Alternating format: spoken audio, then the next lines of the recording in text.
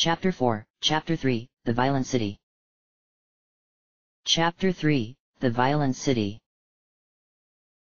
Easy, girls, Ryu murmured, holding his hands before him. I'm not going to hurt you. Easy, easy. Nice Biruburu. Unfortunately, the monsters menacing him a tough, purple-skinned hybrid of Sao and Kao were more concerned with their ability to hurt him. Squealing, they both charged simultaneously, and Ryu cursed, diving awkwardly over their wicked horns and landing on the back of one. Bucking wildly, it attempted to throw him off, but he was able to hold on long enough to cut its throat. Enraged, its companion attacked again, and he shoved the carcass into it. Before it could recover, he stepped around and sent it off with a stab to the eye. Man, oh man, what a wake up. Wincing, Ryu cleaned his sword and sheathed it again after carefully looking around for any more monsters. The eastern seacoast stretched north for several more miles before reaching a small forest, he'd have to head back to the west and rejoin the path at that point. The good news was, when he did, he'd be able to reach his destination within the day, so he wouldn't need to stick to the coast. Without Bo's hunting skills, he had been forced to rely on his own talent with the fishing rod for all of his meals. At the moment, no more threats were visible, but he knew that was hardly a guarantee for long. Sighing, he glanced back at the dead Biruburu. A couple more days of nothing but fish, and I'll probably be finding out if these things are edible. Prodding one with his foot, he considered it, then shook his head and turned to the ocean. To the northeast of Oria was the land of Tentar, hereditary homeland of the reclusive forest clan. Said clan had shunned contact with the outside world for many centuries now, reportedly due to conflicts with the Church of Saint Eva, and the human population of the country had expanded in their absence. Their capital city of Corsair was relatively new, but it was a popular destination for travelers due to the massive coliseum at the city's heart. It had taken him half a week since he had crossed the border between the two lands, at the bridge across the river Bleak, to get that far. As he sat on the shore, fishing line dangling into the water, something caught his eye further out, what appeared to be a man-sized fish, wearing clothes. It was a Menero fishman, apparently swimming north towards Corsair. On a whim, Ryu decided to try something he had heard about in a bar a few months ago. Yesterday, he had been attacked by a murderous devil kid, one of the violent imps that infested Tentar, despite the awkward name, they were neither hellish in origin nor sentient children. More importantly, he had found a piece of fool's gold in its claw after killing it, Reeling his line back in, Ryu took off the bait and tied the end of the line around the rock instead before casting it back out. As he had been told, the Menero clan's inherent eye for gold was so phenomenal that the passing fisherman saw the glint immediately, barreling down on it like a shark. Ryu waited, amused, until it grabbed the glittering bait, and curses began to bubble to the surface. A few minutes later, it burst from the water's surface, fool's gold in hand.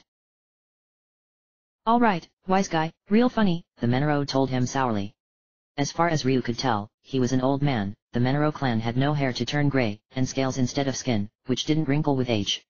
Said scales had silver patches mixed with their normal orange hue, though, and the white fins on the top and sides of his head were unusually long. You're lucky I've got a good sense of humor. Some folks would pound you into canned lizard for that kind of stunt. What if I wanted to see if you had anything interesting to sell? Ryu countered, ignoring the bizarre threat. Hey, why didn't you say so? Blasting out of the water in a surprising display of agility, the Menero landed on his feet next to Ryu, unstrapping the huge pack he wore on his back, so large it had to be reinforced with wooden poles. The name's Gobi, nice to meet you. Now then, I have some very nice sets of steel armor, perfect for the aspiring gladiator. Or, if you're more of an offensive type, I'm also stocking some silver daggers, enchanted with fire magic. I'll let both of those go for only 1,400 zenny each. A bargain price, let me tell you. Um. Old man. Ryu held up a hand. Do I look like I can afford anything that's 1,400 zenny? Look at me. Good point. Gobi scratched his chin. Yeesh, kid. Is that a salad bowl you're wearing on your head? Please say no. It used to be, Ryu admitted. It was cheap, and it keeps flying rocks from braining me. You go with what you can in my position. I'm all for bargain hunting, kid, but you gotta draw the line somewhere, Gobi told him, grimacing. You'll never get a girlfriend looking like that. Hell, you'll probably get laughed out of all the bars in Corsair. Tell you what, I'll help you out with that instead. Reaching into his pack, he produced an actual helmet, admittedly one without any facial guard, flared around the edges. Standard issue for the Windian Guard, and they're a cut above your normal watchman. I got these babies at a steal on account of surplus, so I can let em go cheaper than I usually would, too. 800 zenny, and believe me, you're never gonna find a better offer on these babies. Hmm. Ryu examined the helmet. It was authentically well made, he could tell, and Bao had given him almost all of their combined savings for use on his quest. It was tempting. I'll give you 750. 795, Gobi countered. 760. 790. Throw in some information about what the air's like up in Corsair right now, and you've got yourself a deal, Ryu said. He had had dealings with Meneros before it was hard not to, since their merchants more or less controlled the global economy by now and he knew that haggling too extensively would just make things worse. I thought you were heading up there. Gobi smiled. Alright, deal. What did you want to know? How to find a tavern called the Rat's Head, Ryu said as he pulled out his wallet. The story on this fighting girl I've heard about at the Colosseum. And anything else I should be keeping my eye out for. Elder Allen's letter had told him that the local Rangers Guild office was located behind the tavern, but hadn't specified where said tavern was. The new girl, hey. Gobi chuckled. I know what you're thinking, kid, but trust me, don't. Her first night in, some guy tried putting the moves on her. She put him and six of his buddies in the doctors, single-handedly. She only shows sporadically, apparently, she drifts in and out of town.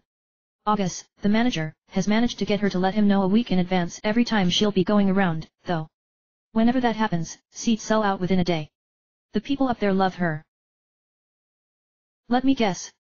Ryu made a face, counting out coins. Knowing my luck, they started promoting her next fight yesterday. Afraid so, kid, Gobi agreed. You can ask around when you get up there, but I doubt you'll have much luck. Maybe the guild can help you out, the rat's head is over on the east side, on Rat Street. Guess that explains the name, Ryu commented. I was wondering about that. I see you already know why I was asking. Guess they don't keep it a secret. It beats what the one on the other end of that street is called, let me tell you. Gobi snorted. The ale's better, too. You would be surprised how long it's taking some brewers in Corsair to catch on to the fact that open vats are a bad idea when you're too cheap to set traps. If you're looking for an inn, the Rat's Arms a couple doors down runs clean and cheap. I don't really want to know what a ranger's doing in Corsair asking about that girl, do I? Probably not, no. Ryu shook his head, handing over the cash. It's a long story, anyways. Anything else I should know? Like you said, it's none of my business, but be careful if you're snooping around the Colosseum. Taking Ryu's money, Gobi handed over the helmet. There's been some nasty rumors going around about August recently. Some people are saying he's got connections to the Joker gang that operates around here. Even if that's bullshit, the Coliseum matches have been getting more and more violent recently. It's a bad trend, and it's leading to bad habits in the viewers, too. He snapped his fingers. One more thing. Don't know if this'll mean anything to you, but the Church of St. Eva's sent a paladin into town. You don't see many of those, Ryu said, blinking. Especially not in this part of the world. Any idea what he's doing there? Nope, and I don't want to know, either. Gobi shook his head. I'm real good about not knowing things I shouldn't, kid. It's how I've lived this long. Take my advice, and do the same, and you will too. Unless there's a profit in it. Ryu guessed, smiling. Depends on how much. Gobi shot back, grinning as well. You're alright, kid. Good luck up there. Maybe I'll sell you something again someday. Diving off the coast, he vanished beneath the waves, and Ryu went back to his fishing. After eventually catching and eating a fat tuna, Ryu continued north, and drifted into the city of Corsair around noon. It had been a long time since he and Bao had been here, and at first glance, the city hadn't changed, the streets were familiar, and he found himself walking the same paths he had back then almost automatically, recognizing more and more the further he got. Corsair was shabbier than hometown, the streets narrow and winding with more alleys and nooks. They'd had a few close scrapes, some of them unpleasant, but all the same, it wasn't bad to be back. Not everything was the same, though. Despite the fights that were the city's most popular attraction, when they'd been there, Corsair had been a fairly relaxed city, without much turmoil. That much had clearly changed, in his first 15 minutes, he saw three fights in the streets and a violent arrest by the town guard. The guardsmen brutally pummeled the criminal, but ignored the brawling between citizens. The bars weren't open yet, so that clearly wasn't it, all that Ryu could think of was that violence was in the air, and he didn't like where that was going. The first thing any newcomers noticed about the city was the massive Colosseum, looming over even the outer walls, it was Corsair's heart, and the citizens wanted everybody to know it. The first time he had seen it, Ryu had stared for an hour without even moving. Bao and him had tried to get in a hundred times, and failed every single one. He knew it wasn't going to be any easier now, but just to check, he made his way towards it first. Reaching it presented him with a riot going on outside the front gate, armed and armored guards mercilessly pummeling angry citizens. There are no more tickets for sale. A weedy man in a hideous bright green doublet was shouting from behind a barred gate. I repeat, the seats are sold out for next week's fight. Anybody within a hundred feet of this entrance will be treated as a violent rioter. Leave immediately, or the Corsair Coliseum will bear no responsibility for any injuries inflicted upon your person. You have been warned.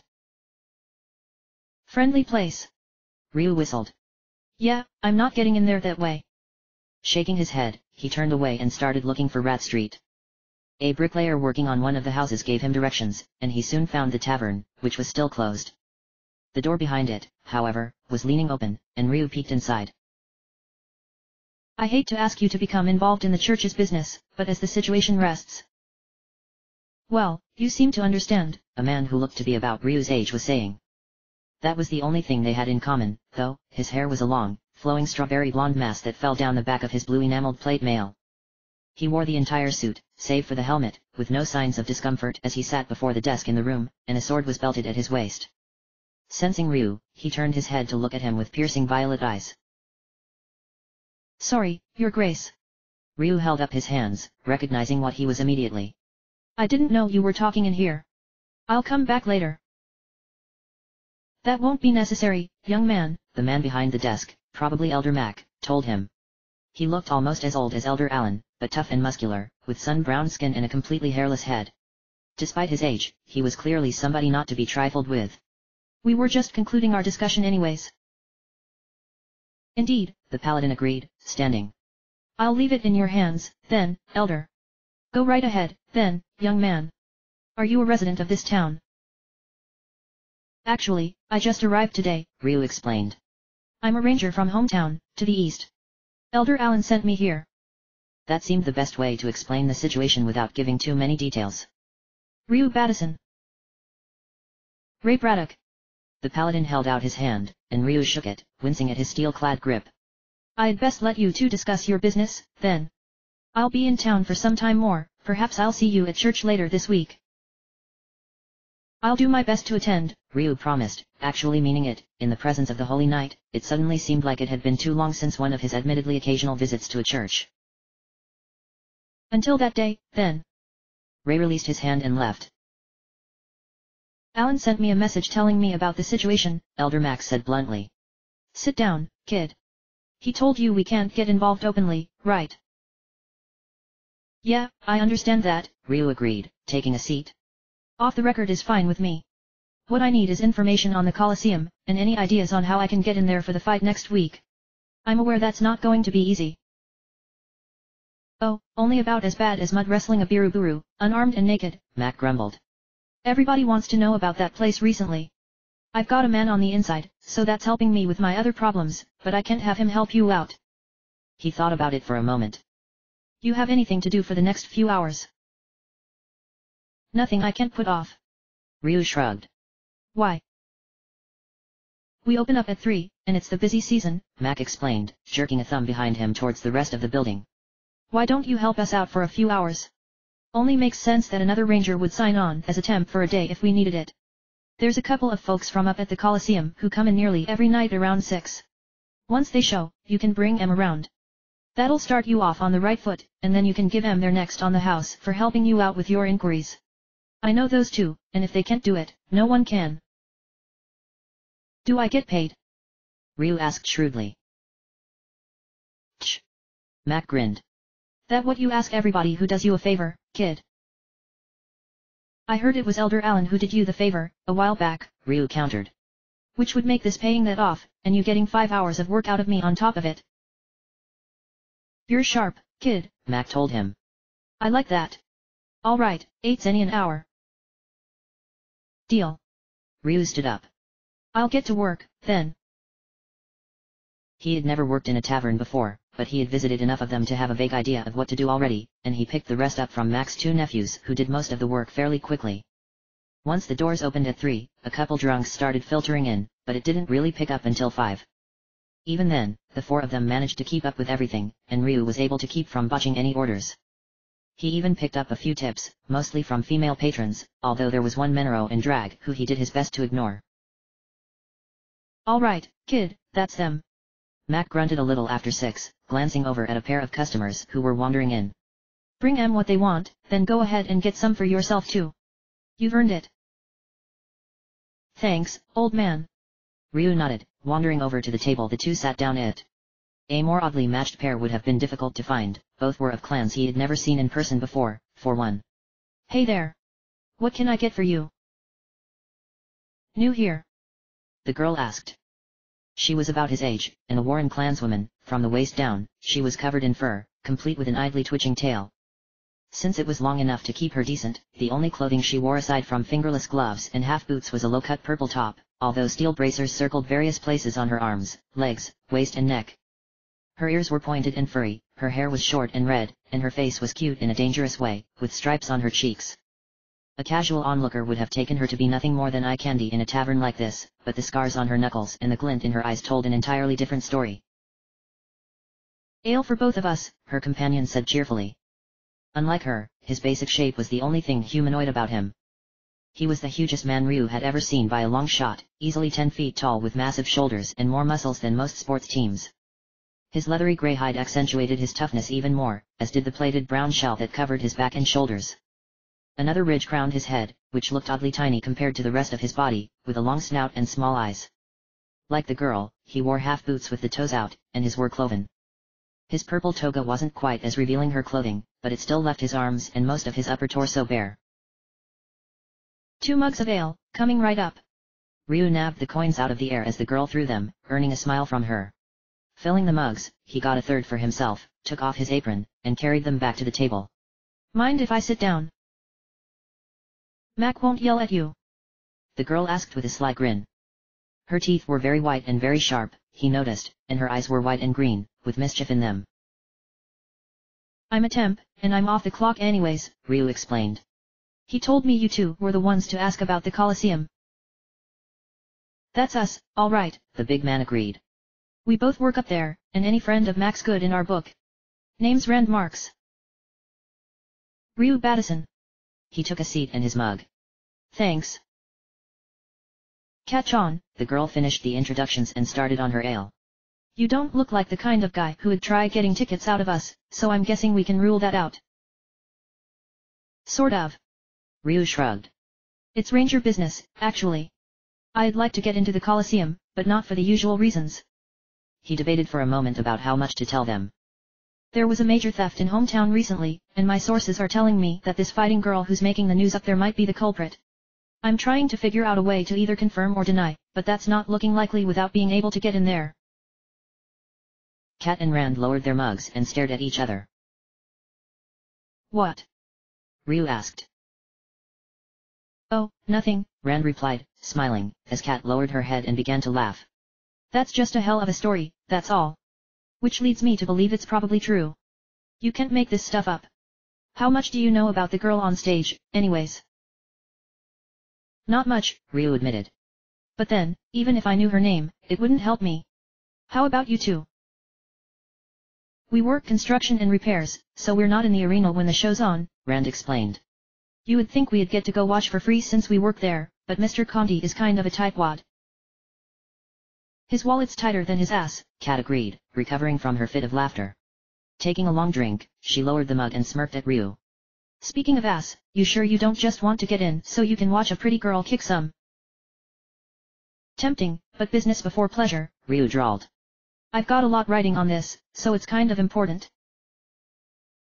Well, let's put our heads together then. Rand drained his mug. After we get some refills, anyways. Sounds good to me. Ryu signaled one of Mac's nephews, who knew what was going on and took their mugs without collecting money. On the house. My treat. Okay, now we have to help him out, Kat told Rand in a dramatically serious tone. Without a doubt, Rand agreed. Okay, let's put our heads together. Tickets are obviously out, and we'll never be able to sneak him in as staff. Why not? Kat frowned. Remember when that last guy tried that? Rand reminded her. He would have made it, too, if he wasn't drunk at the time. Ever since then, the supervisors have all been cracking down hard on that. I don't know what Mr. Conti's more worried about, some idiot interfering with the fights, or breaking into his office. Let's go with both, then. Kat drank some more ale.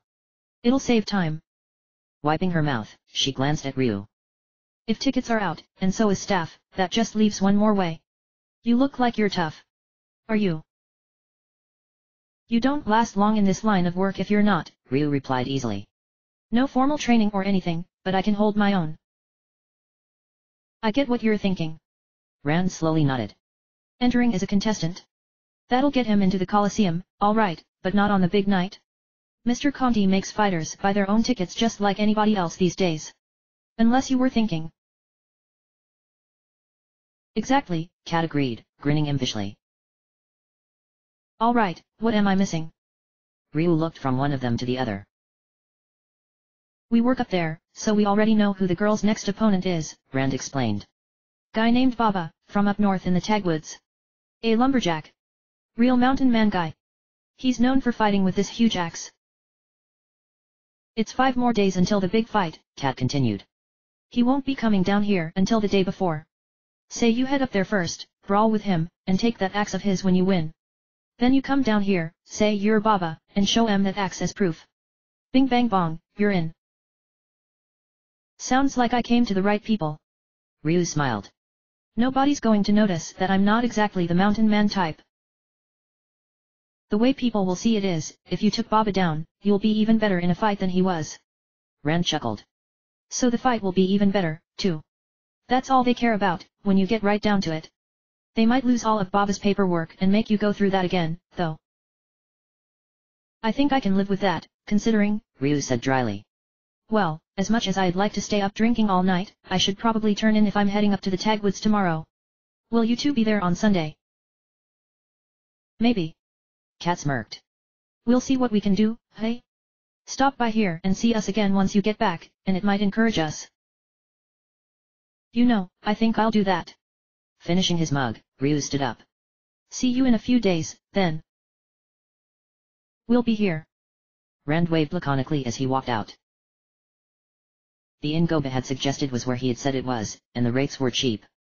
After getting a good night's sleep under his belt, Ryu did as they had suggested, leaving the town once more and heading north. The tagwoods they had told him about were one of the many clumps of forest spread around Tentar, reportedly, the forest clan lived there, but he doubted he'd actually see any of them during his trip.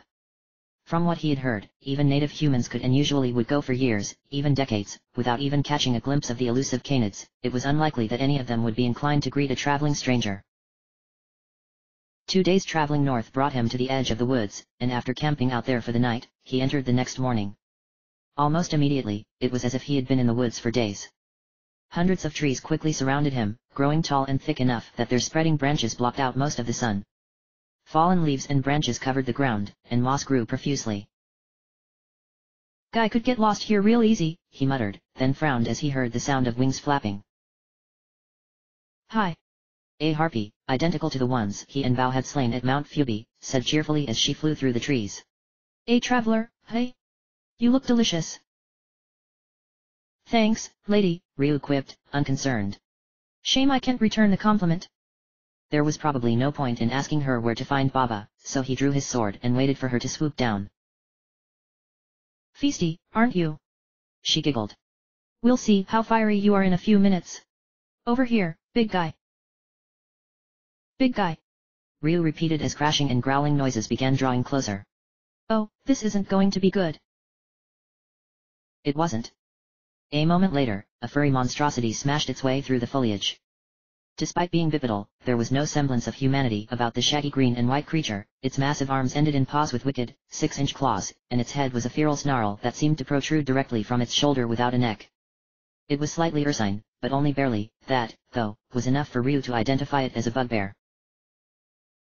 You make the kill, I'll eat the spill. The harpy crowed, and the bugbear obliged, charging at Ryu with a fearsome roar. I hate this place already. He snarled, falling back as the beast swung. Its attack was massive, but slow, and the clawed limb whooshed over him as he put his hands back to steady his landing. Springing back to his feet, he slashed at the side of its head, carving a bloody trail. Unfortunately, this seemed insufficient, it struck again, this time ripping into his chest and slamming him into a tree. Ugh! Ryu hissed, clutching his wound with one hand. Despite the pain, though, he still stood firmly as the beast advanced. Growling still, it paused, apparently not expecting him to still be fighting. That proved fatal, ducking under its next swipe, Ryu struck at the same spot he had hit earlier with a two-handed blow, taking the monster's head. Ah! The harpy screamed. Shrieking curses, she dived recklessly, and Ryu met her with his blade, cleaving her in two in mid-flight. Ow, ow, ow, he hissed, removing his shirt. Alright, time to see just how bad I am at white magic again. Concentrating, he attempted to cast a healing spell. As Bao cast it, light fell over him, but the healing was less effective, the wounds closed, but that was all. That'll have to do. Guess I should be glad it worked that well. Putting his shirt back on, he glanced at the bodies once, then shook his head and started walking again. Though there was a path through the woods, it was hardly easy to follow, doubling back and splitting off on numerous occasions. Sighing, Ryu resigned himself to a long day searching for the lumberjack, more harpies and bugbears infested the woods, along with the carnivorous man-eater plants that also plagued the rest of Tentar. There were other monsters as well, but unfamiliarity with the area had its drawbacks, even when he and Bao had come through Tentar in their childhood, they hadn't been crazy enough to go into the woods at their age. When he came across a stump with branches like arms, he shrugged it off and turned away, only realizing his mistake just in time to dodge its swipe. Turning, he saw that what he had taken for an odd horizontal knot had opened up, revealing a huge blue eye that rolled madly as it stared at him. Before he could counterattack, though, an axe almost as large as he was descended, splitting the monster from branch to root. Never seen a Dokkan before, kid. The man holding the axe asked, pulling it from the slain arboreal menace. Despite being human, he was almost as big as Rand, though stouter and shorter. His earth-brown hair and beard were wild and long, both almost reaching his waist, and he wore a sleeveless green tunic, with bands around his wrists and forehead. Gotta watch out. The dem things'll use fire magic if you piss em off without killing em fast, and that's a no-no around here, to put it lightly. Wish I knew what damn God had that bright idea when he put those things together. I'd like to shake the dumb bass's hand, real hard. No kidding. Ryu winced, imagining it. Thanks for the save. Baba the lumberjack, I presume. That's me, Baba Dari, the big man agreed. What's a kid like you doing in a place like this, hey? I'll skip to the point, Ryu said, smiling slightly. Hate to do this after you just helped me out, but I'm going to need that axe of yours. Them's fightin' words, kid. Baba smiled back, but his eyes were dangerous. Down in Corsair, tryin' that would get a nice little brawl goin' anywhere, anywhen. I'm guessing that's what you're here about. The Colosseum, right? On Sunday. Came here huntin' me down over it. Now, ain't that cute? Pretty much. Ryu kept his hand on his sword, watching the lumberjack carefully.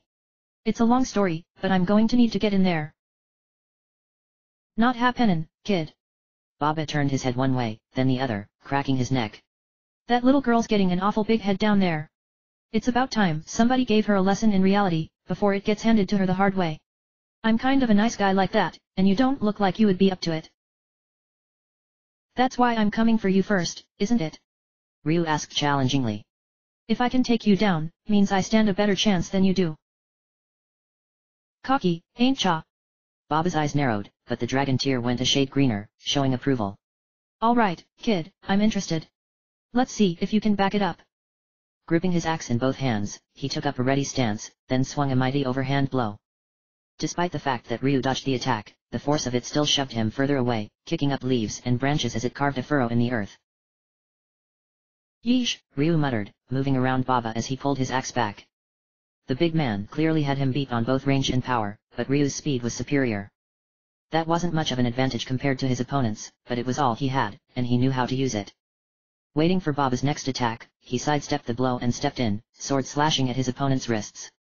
Before he could hit, though, the lumberjack deftly moved his weapon sideways, the pole deflecting Ryu's sword even as the flat of the axe head slammed into his side. Thought you had me, didn't you? Baba laughed as Ryu fell back, winded. Not gonna be that easy, kid.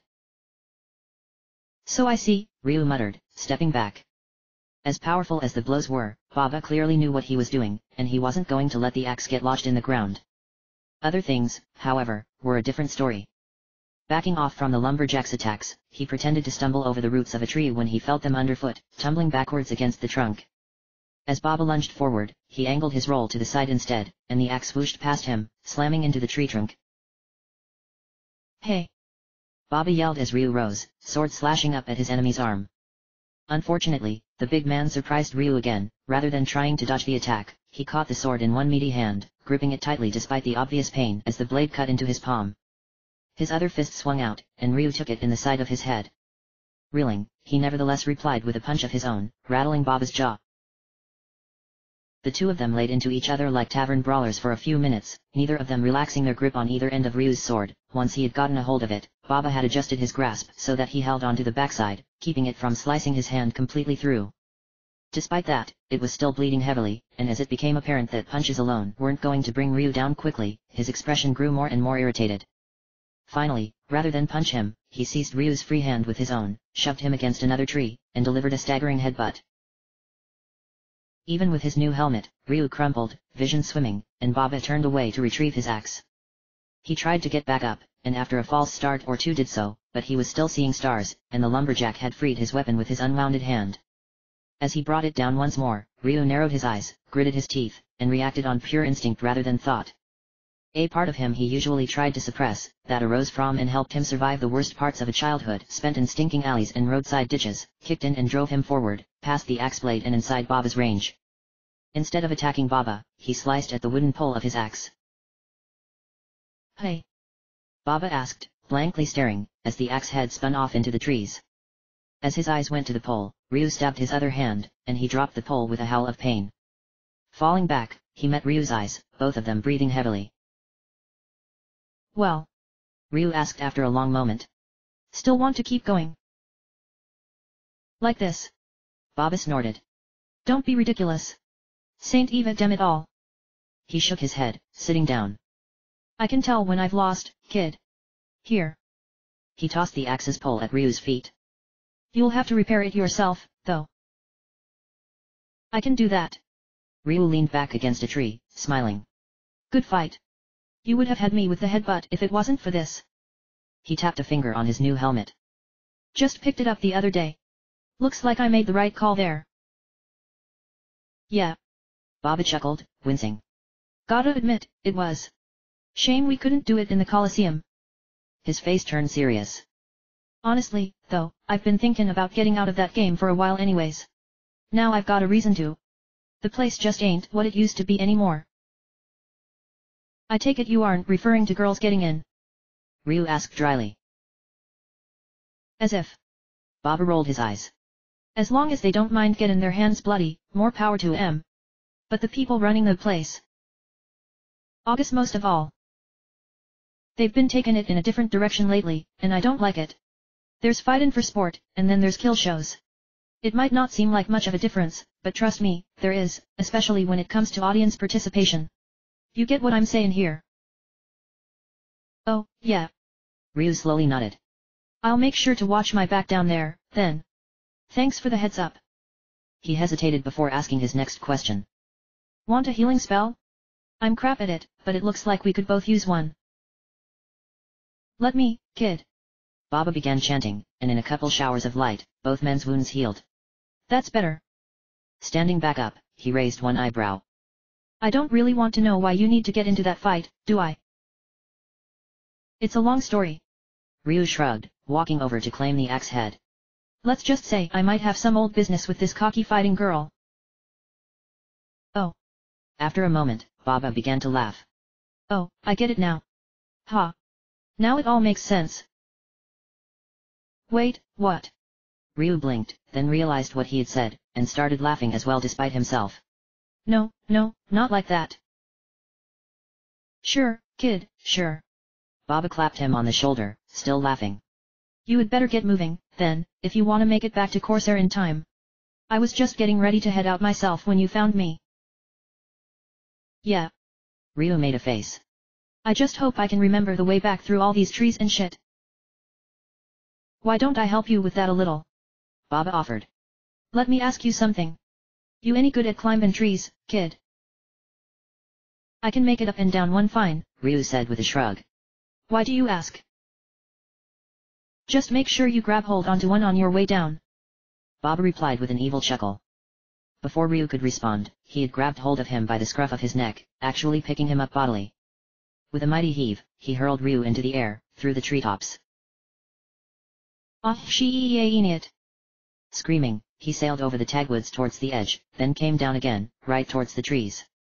Despite his terror, he still maintained enough presence of mind to do as Baba had suggested, trying to grab a branch.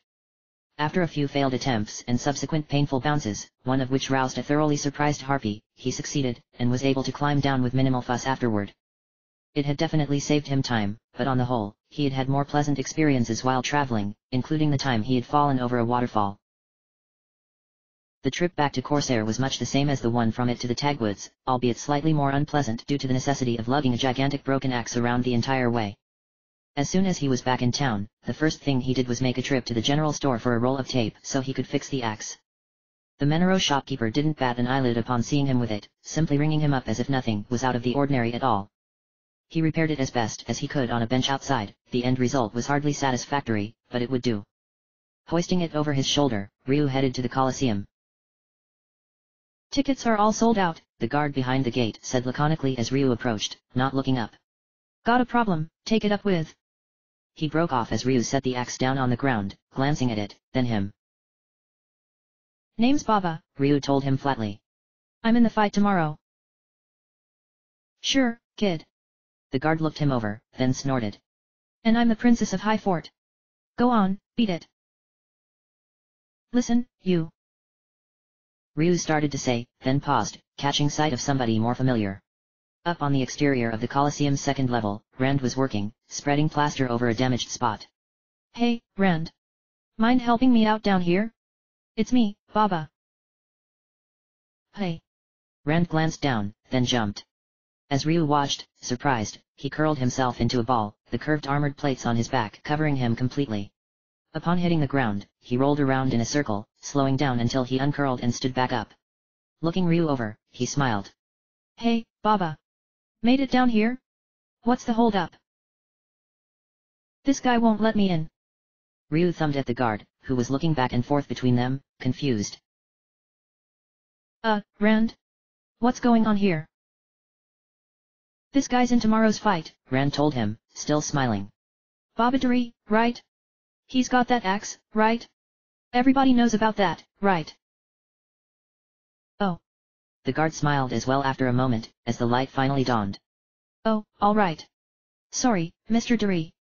Didn't, uh, recognize you. Snorting, he pulled a lever, and the gate retracted. Right this way. Thanks, man, Ryu told Rand, following the guard in. No problem, Rand replied cheerfully as he turned away, presumably to return to his work. See you tonight. The guard led Ryu into the Colosseum's lobby, a massive, expensively decorated hall with tile flooring, tapestries hanging on the walls and interior fountains. More guards stood around at various places, chatting to each other lazily, though they didn't seem to be paying much attention, the sheer numbers said more than they probably realized. One was even behind the front desk, feet propped up on it. Nodding to him, Ryu's escort took him to the right, past several more guards standing around a wooden door. Hey, Jean, he said as he walked through, hailing a girl behind another desk in the main center of the room. A multitude of other doors covered every wall, each with a brass nameplate on it. Baba from Tagwoods is here. I see. The girl gave Ryu a clinical once-over, her eyes lingering on the axe strapped to his back. I'll take it from here, Eddie. Go on back to your post. Gotcha. The guard gave Ryu an incomprehensible hand gesture that would probably lose all meaning within a couple years and left. We've been waiting for you to check in, Mr. Dari. Jean turned on what looked like a standard smile. While we're glad to see you here, I'm afraid there's been an error in our filing system. We've lost all your paperwork. So I have to fill it in again. Ryu replied. No sweat. I can write. Kind of. No, no, our Director of Human Resources will do that, Jean told him, shaking her head. He'll want to interview you again, is all. He's in right now, why don't you go on in? Third door on the right. All right. Nodding, Ryu walked over and knocked on the door marked, Andre. Before opening it and walking in. For a moment, he thought he had made a wrong turn, the room inside was solid stone all around, like a dungeon. The effect was amplified by the room's inhabitant, a muscle-bound Hulk who looked like he modeled for statues in his spare time. Bald as an egg with a perfect tan, he wore only a bright red, very small swimsuit and a bow tie, how the latter stayed on was a question Ryu didn't particularly care to ask. More importantly, he was chained to the wall, manacles attached to all of his wrists and ankles. Despite this, he also sat at a wooden desk, and was writing something down by candlelight. Yes. He looked up, tiny eyes squinting at Ryu through a tiny pair of spectacles. Can I help you? Jean sent me in for an interview, Ryu explained, resisting the urge to flee for his life. I see. Removing his glasses, he stood up, chains clinking. Well, let's get started then. In a swift movement, he flexed his arms, and a burst of force from his muscles actually entered the air between them, slamming Ryu back against the door. State your name for the record, please. Babadari, Ryu grunted, prying himself off the door. Before he could move in to attack, though, the director flexed again in a different pose, and the resulting force slammed him into the floor face first. Education? He asked casually. None, Ryu replied, peeling himself off the floor. Occupation? The director struck a pose, ramming Ryu against the back wall again. I'm a lumberjack and I'm okay, Ryu muttered dryly, spread eagled. I sleep all night and work all day. Hobbies. The director crouched, hands on knees, and stomped the floor with one foot, then the other. The first knocked Ryu off the wall, and the second onto his ass. Smoking. Ryu stood up again and made a run for him. Drinking. Fishing. Fighting. Talents. The director started shadow boxing, each blow knocking Ryu in a different direction. Axe throwing, log rolling, and whittling, Ryu answered in between pained wheezing. All right, you pass. The director sat back down suddenly, pulling his glasses back on and returning to his paperwork. Go on out and tell Jean. Ryu thought about making some sort of objection to the entire debacle, but in the end, he just cut his losses and left. Still conscious? The secretary noted. A pass, then. I was fairly sure it would be, but we do have protocol to follow. The manager, Mr. Conti, has been notified of your arrival, and he asked to meet with you once you were done. Down at the far end. She identified the door. All right. Wincing, Ryu walked down and knocked before opening the door. Mr. Conti? I'm Babadari. Ah, Baba. Come in, come in. The man inside the room told him without getting up from where he was seated, in front of a roaring fireplace. Please, sit down. Call me August.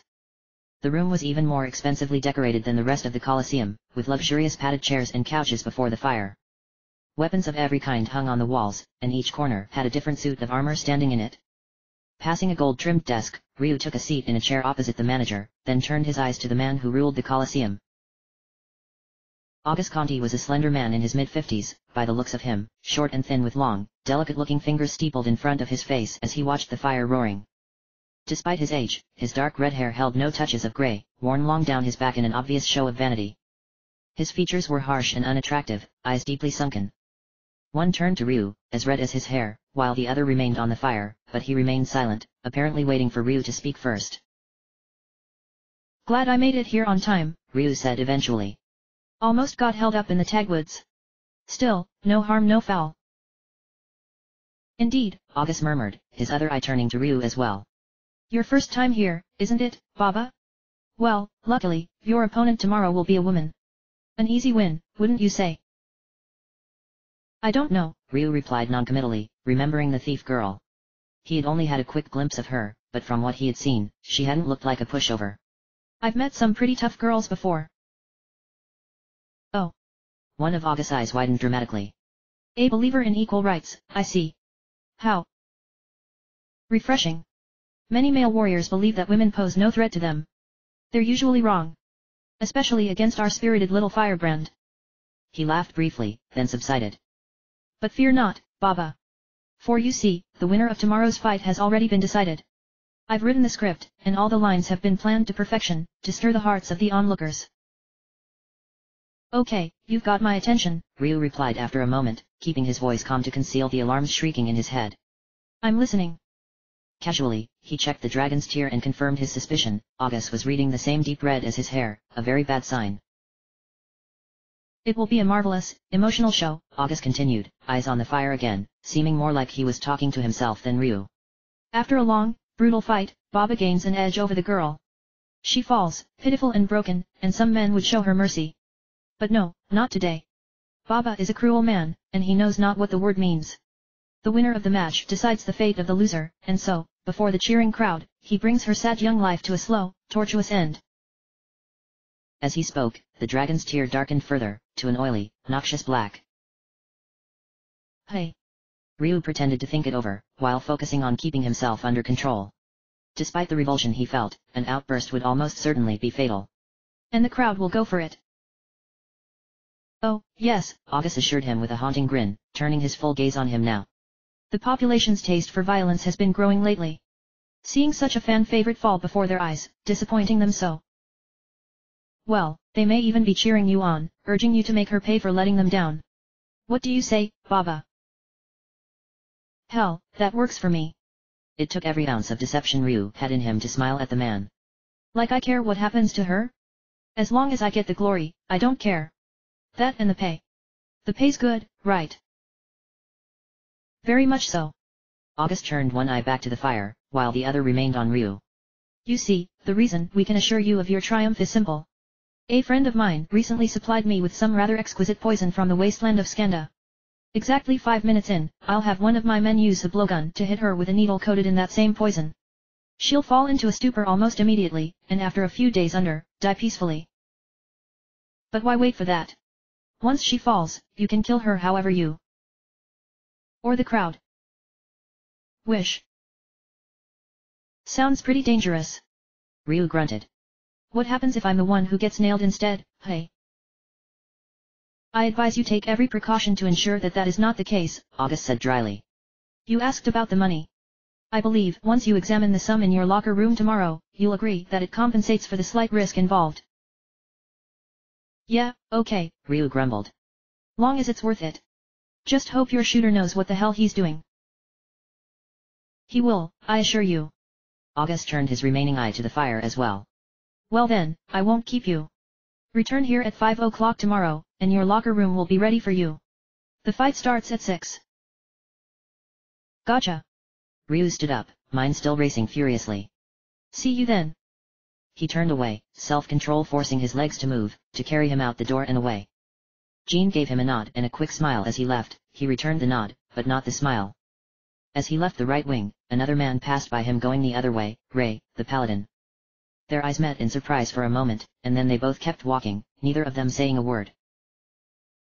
What's he doing in there? Ryu muttered to himself once he was out of earshot. Just what I needed. Something else to wonder about. He nodded perfunctorily to the guards as he left the Colosseum, making his way down the street to a nearby park where he could rest under a tree and do some thinking. August's offer was, of course, completely out of the question. Morality notwithstanding, if his opponent tomorrow was the thief, then her untimely death would kill any hopes of vindicating Bao as well. However, directly refusing August's offer or making any attempt at confronting him would just get him killed. The manager's influence in the city would make going to the authorities an impossibility as well. There was a solution somewhere, he knew, but no matter how hard as he tried to think, it wasn't coming to him. In the end, he got up and went to the rat's head with no plan and no idea what he was going to do. The tavern was busy, so he didn't bother Elder Mac aside from getting some ale. Instead, he took a table and kept an eye out for Rand and Kat. After almost an hour, he was signaling for another refill when a light hand grabbed his head with far more strength than one would expect and rubbed his hair roughly. Gotcha. Kat snickered, letting him go and taking a seat next to him. Should have looked around better. Alright, I'll bite. Ryu did his best to fix his hair. How'd you get in here? Back door, Rand explained, walking up and sitting down as well. We saw you in here before we came in, and she wanted to pull a prank. Why am I not surprised by this? Ryu rolled his eyes as one of Mac's nephews walked over. Ale all around, I take it. Of course. Kat put one elbow on the table and leaned forward, smirking. So. What's with the axe? Oh, I didn't tell you last time. Ryu played along. I'm actually Babadari. Sorry, I should have brought it up. So you're gonna be in the fight tomorrow? Rand sighed dramatically. Rats? Your name's pretty weird. I was hoping I'd get to see one between a cute girl and some freaky whack job. That would have been better. Very funny, Ryu replied dryly. Sorry to disappoint you, Chief. I don't know. Kat raised an eyebrow. He's not too bad looking himself. This way, everybody gets someone to look at. For those who like it violent, that is, Ryu pointed out, raising an eyebrow. Not everybody does, you know. Would they be going in the first place if they didn't? She countered. Good point, he conceded. I'll be sure to put on a good show, then. I'll be looking forward to it. She leaned back and exchanged a smirk with Rand. So, the big man said before Ryu could ask what was going on. You never told us exactly why it's so important to you that you catch this girl you're looking for. I get that she knocked over some places in your hometown, but you're acting like it's personal. Did she take something of yours, or what? Not exactly. Ryu thought about it a moment, then decided to trust them, after all, he already was, in a way. Keep this to yourselves, but my partner's been framed for the big job she pulled. I have to bring her back if I want to clear his name. Ouch. Kat winced sympathetically. Yeah, that's pretty bad. I'd offered to help you out, but we haven't actually been here that long, so it's not like we have much of an information network or anything. We have got to start going places other than here and the Colosseum, Rand agreed. You two came in together. Ryu guessed. Been friends for a while. Not all that long. Rand chuckled. We met up west of here, over in a lodge north of Gate. Since we were both heading the same way, we figured we might as well go together, and neither of us really found anything in Windia that was worth sticking around for. Is that place still around? Ryu asked, thinking back. Must be nine years now since the last time I was there. Good to know. You've been up there too, hey? Kat replied teasingly. Not a hometown boy all your life, then. As if. Ryu rolled his eyes. Me and my buddy just settled in there when they actually let us apprentice as rangers. Up until then, it was life on the open road for us. Nowhere to go, no place to be. Story of my life. Kat shrugged. Guess I'll be sticking around here for a while, but this is the first time something like it's come up. Girl out on the open road alone. Ryu raised an eyebrow. There must have been some assholes who got the wrong idea about that. A few times. She examined her scarred knuckles. Funny thing, though. None of them ever tried it more than once. She's a Woren clanswoman, Rand explained with a small grin. They almost all grow up alone. It's a cultural thing for them. So you can probably imagine how tough their kids need to be to survive that. Breath of spirit. Kat grinned, flexing a bicep. Nothing showy like other clans, but ramped up strength, speed, and agility. I was lifting guys off the ground by their necks back when I was waist high. So, only a couple years ago. Rand joked, receiving a punch in the arm for it. Ow.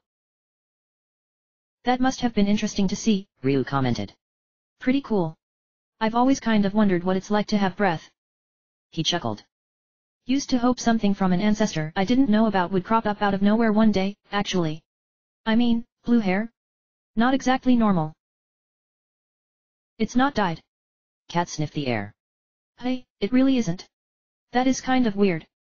She paused, looking awkward. Did you, um, know your parents? A little, Ryu said with forced calm. They died. But I remember I got it from my mother. The old stories say light dragons all had blue hair and green eyes, Rand suggested. Maybe you secretly have dragon clan blood. Yeah, sure, and maybe I'm a long-lost prince of Windia, too, Ryu snarked, and they all laughed, finishing off their mugs. Refills. Kat suggested. I don't know. Rand poked Ryu. Our pal Baba here's got a big day ahead of him tomorrow, after all. Thanks for bringing it up, Dad. Ryu snorted. What about you, then? Farm clan, right? You got it. Rand nodded. Let me guess. You've never seen one of us before. Outside of books, Ryu admitted. I'm guessing there's a reason for that. Most of us stay home, he explained. We're pretty sedentary, which makes me something of a freak, I guess. And even I didn't leave until I was almost 30. Wayward vagabonds all around, all the same. Ryu raised his empty mug. To the open road, and not having to sleep on it tonight at least. Amen to that. Kat raised her mug, and Rand did so as well. Guess we probably shouldn't have too much either, he suggested. No point in being hung over tomorrow. Yeah, yeah. Grumbling, she gazed at the mug. One more round. Rand's right in my case, Ryu reluctantly pointed out, remembering his promise to Ray. I should get going. Fine, fine. Kat put it down. We might as well too, then. Think about how nice it'll be to wake up without a headache for once, Rand told her as they all left the table. We don't drink that much, she protested. Most nights, anyways. Well, some nights. You know what I mean. Hey, if there's something wrong with good brown ale, there's something wrong with you, Ryu pointed out, leading the way out onto the street. See this? Kat clapped him on the shoulder. This guy knows what's going on. Two of them. Rand clutched his forehead. I don't think I'll be able to handle two of them. Hate to disappoint you, but I'm probably not sticking around, Ryu reminded them.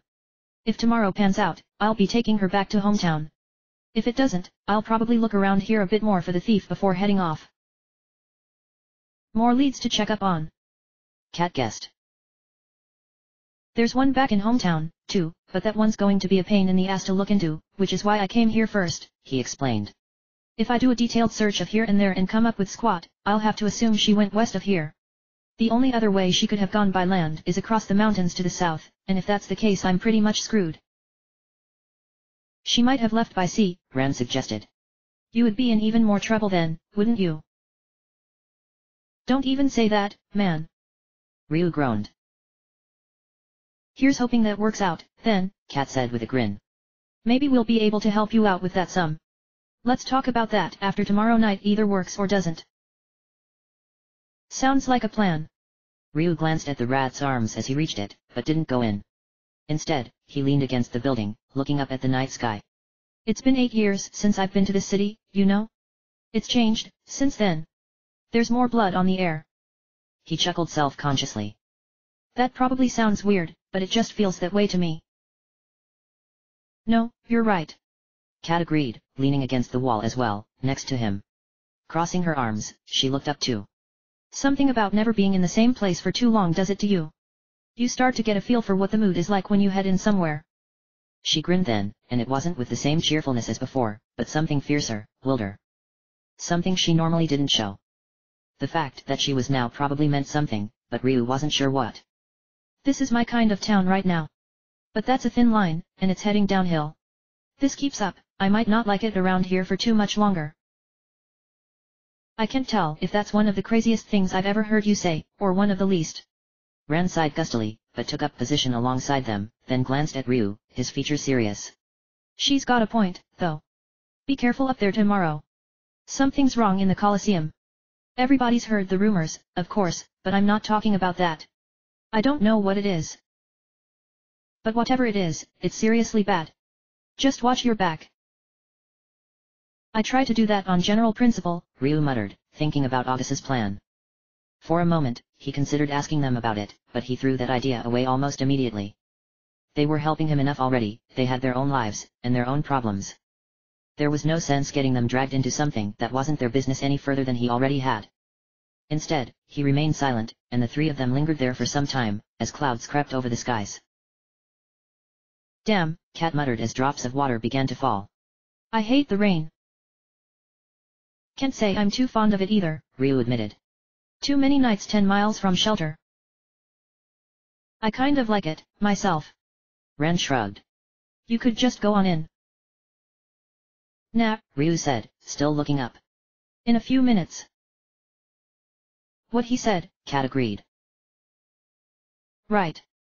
Rand rolled his eyes, but didn't argue the point any further. The rain continued to fall, and they remained there, watching it come. Three wandering souls, with nothing and everything in common, waiting to see what tomorrow would bring. Tomorrow comes today.